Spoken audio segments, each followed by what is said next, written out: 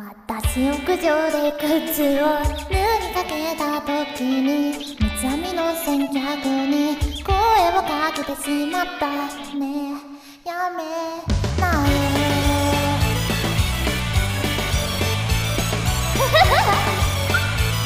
寝 落ち。口をついててただけ本当はどうでもよかった。先を越されるのが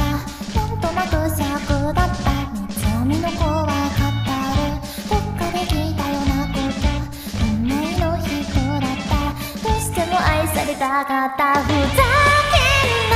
そんなことぐらいで私の酒を消そうだなんて欲しいものが手に入らないなんて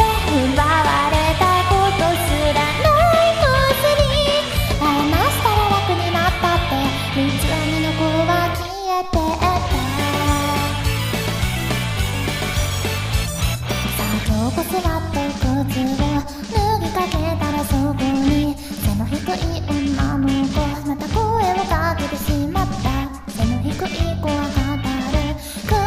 での孤独を無視されて奪われて居場所がないんだって。ふざけんなそんなことくらいで私の先を越そうだなんて。それでもうちでは愛されて温かいご飯もあるんでしょ。お腹が空いたと泣いて背の低い子は消えて。